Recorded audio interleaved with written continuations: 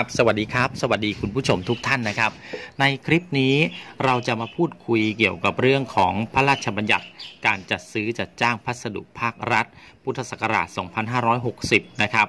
ในคลิปนี้เนี่ยเป็นประเด็นเกี่ยวกับนะในเรื่องของการจัดซื้อจัดจ้างนะครับ ถ้ามีกรณีที่ขั้นตอนหนึ่งขั้นตอนใดเนี่ยมีข้อผิดพลาดหรือผิดหลงเล็กน้อยเนี่ย จะมีผลต่อการจัดซื้อจัดจ้างในครั้งนั้นหรือไม่ จะทำให้ผลการจัดซื้อจัดจ้างครั้งนั้นเสียไปหรือเปล่า เดี๋ยวเรามาดูในกฎหมายที่เกี่ยวข้องในเรื่องนี้นะครับสำหรับในประเด็นนี้นะครับ ตามพระราชบัญญัติการจัดซื้อจัดจ้าง และการบริหารพัสดุภาครัฐ พุทธศักราช 2560 ได้บัญญัติไว้ในมาตรา 14 นะครับ เพื่อให้การจัดซื้อจัดจ้างเนี่ยเป็นไปด้วยความเรียบร้อย และก็ไม่ก่อให้เกิดความเสียหายต่อหน่วยงานของรัฐนะครับ กรณีที่หน่วยงานของรัฐได้ทำการจัดซื้อจัดจ้างขั้นตอนอขั้นตอนใดผิดพลาด หรือผิดหลงเล็กน้อย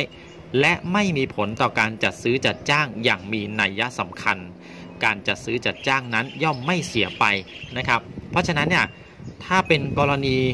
การผิดพลาดหรือผิดหลงเพียงเล็กน้อยนะครับ และไม่ส่งผลต่อการจัดซื้อจัดจ้าง